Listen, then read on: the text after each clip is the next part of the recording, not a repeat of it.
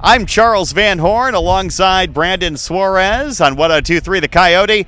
We are coming to you live tonight from Byron High School. Going to be a great matchup. The Byron Tigers bringing the 2 and 2 Oregon Hawks to town. And for Oregon, this is going to be a tough contest. And for Byron, likely an easy win. Uh, yeah, we, we got to see a Byron easy win last week, and like you said, it's probably going to be something of that same tune this week.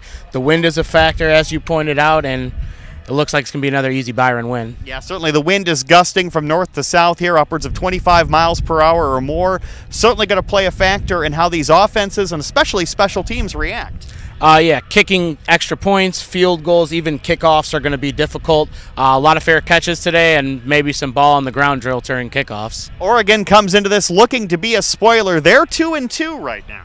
Uh, yeah, two and two. They lost week one at North Boone. They also have a loss at Dixon, but they beat Genoa Kingston three nothing. That was a real barn burner. And then uh, they won against Winnebago thirty five to twelve.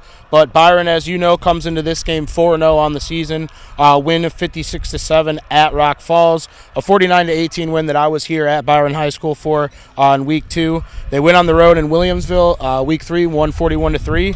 And then last week, you know, we were in North Boone for that seventy one to six win. So a lot of a lot of low scores for their opponents and a lot of high scores for them. And talk about the point differential between the two clubs this season so far. So yeah, Oregon on the season is averaging 7.5 points per game, and Byron's averaging 54 points a game. So yeah. take that take with what uh, that information what you will, but it is probably not going to be a close game tonight. Yeah, so it's going to be a wild ride. We'll have all the action for you. Kickoff at 7 p.m. on your radio on 102.3 The Coyote, and of course on Facebook and our website as well. Check it out at 1023thecoyote.com. I'm Charles Van Horn alongside Brandon Suarez. We'll see you after kickoff right here from Byron High School on 102.3 The Coyote.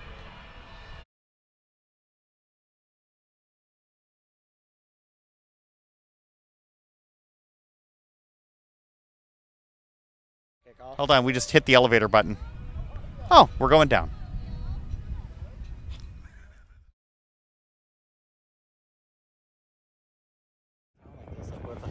You just gonna walk right into my shot? Oh, Thanks.